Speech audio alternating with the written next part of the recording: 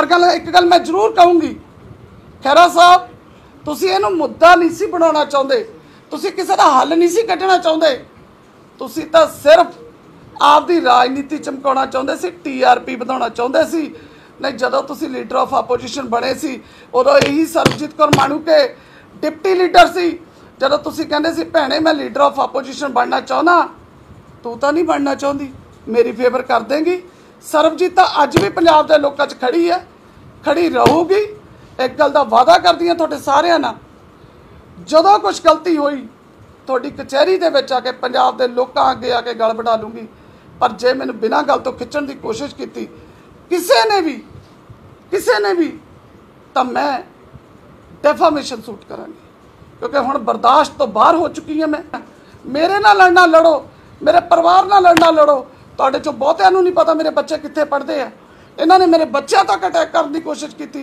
ਤੇ ਖਹਿਰਾ ਸਾਹਿਬ, ਸਾਰਿਆਂ ਨੂੰ ਵਾਰਨਿੰਗ ਦਿੰਨੀ ਆ, ਜਿਨੇ ਜਿਨੇ ਕੁਝ ਹੀ ਹਰਕਤ ਕੀਤੀ, ਕਿ ਇੱਕ ਮਾਂ ਹਲਕ ਚੋਂ ਖਿੱਚ ਕੇ ਖਿੱਚ ਕੇ ਲੈ ਜਾਂਦੀ ਹੈ ਜਾਨ ਜੇ ਉਹਦੇ ਪੁੱਤ ਬੱਚਿਆਂ ਤੇ ਆਪ ਵੀ ਬੱਚੇ ਛੋਟੇ ਆ, ਜੇ ਪੁੱਠੀਆਂ ਸਿੱਧੀਆਂ ਹਰਕਤਾਂ ਕਰਨ ਦੀ ਕੋਸ਼ਿਸ਼ ਕਰੋਗੇ, ਤਾਂ ਮੈਂ ਕੋਰਟ 'ਚ ਖਿੱਚੂ। ਮੈਂ ਤੁਹਾਨੂੰ ਇਹ ਚੇਤਾਵਨੀ ਦਿੰਨੀ ਆ। ਪਰ ਗੱਲ, ਇੱਕ ਗੱਲ ਮੈਂ ਜ਼ਰੂਰ ਕਹੂੰਗੀ, ਖਹਿਰਾ ਸਾਹਿਬ ਤੁਸੀਂ ਇਹਨੂੰ ਮੁੱਦਾ ਨਹੀਂ ਸੀ ਬਣਾਉਣਾ ਚਾਹੁੰਦੇ। ਤੁਸੀਂ ਕਿਸੇ ਦਾ ਹੱਲ ਨਹੀਂ ਸੀ ਕੱਢਣਾ ਚਾਹੁੰਦੇ। ਤੁਸੀਂ ਤਾਂ ਸਿਰਫ ਆਪਦੀ ਰਾਜਨੀਤੀ ਚਮਕਾਉਣਾ ਚਾਹੁੰਦੇ ਸੀ ਟੀਆਰਪੀ ਵਧਾਉਣਾ ਚਾਹੁੰਦੇ ਸੀ। ਨਹੀਂ, ਜਦੋਂ ਤੁਸੀਂ ਲੀਡਰ ਆਫ ਆਪੋਜੀਸ਼ਨ ਬਣੇ ਸੀ, ਉਦੋਂ ਇਹੀ ਸਰਬਜੀਤ ਕੌਰ ਮਾਣੂਕੇ ਡਿਪਟੀ ਲੀਡਰ ਸੀ। ਜਦੋਂ ਤੁਸੀਂ ਕਹਿੰਦੇ ਸੀ, ਭੈਣੇ, ਮੈਂ ਲੀਡਰ ਆਫ ਆਪੋਜੀਸ਼ਨ ਬਣਨਾ ਚਾਹੁੰਦਾ, ਤੂੰ ਤਾਂ ਨਹੀਂ ਬਣਨਾ ਚਾਹੁੰਦੀ। ਮੇਰੀ ਫੇਵਰ ਕਰ ਦੇਂਗੀ। ਸਰਬਜੀਤ ਤਾਂ ਅੱਜ ਵੀ ਪੰਜਾਬ ਦੇ ਲੋਕਾਂ 'ਚ ਖੜੀ ਹੈ। ਖੜੀ ਰਹੂਗੀ। ਇੱਕ ਗੱਲ ਦਾ ਵਾਅਦਾ ਕਰਦੀ ਹਾਂ ਤੁਹਾਡੇ ਸਾਰਿਆਂ ਨਾਲ। ਜਦੋਂ ਕੁਝ ਗਲਤੀ ਹੋਈ, ਤੁਹਾਡੀ ਕਚਹਿਰੀ ਦੇ ਵਿੱਚ ਆ ਕੇ ਪੰਜਾਬ ਦੇ ਲੋਕਾਂ ਅੱਗੇ ਆ ਕੇ ਗਲ ਵਢਾ ਲੂੰਗੀ। ਪਰ ਜੇ ਮੈਨੂੰ ਬਿਨਾਂ ਗੱਲ ਤੋਂ ਖਿੱਚਣ ਦੀ ਕੋਸ਼ਿਸ਼ ਕੀਤੀ, ਕਿਸੇ ਨੇ ਵੀ, ਕਿਸੇ ਨੇ ਵੀ, ਤਾਂ ਮੈਂ ਡੈਫਾਮੇਸ਼ਨ ਸੂਟ ਕਰਾਂਗੀ।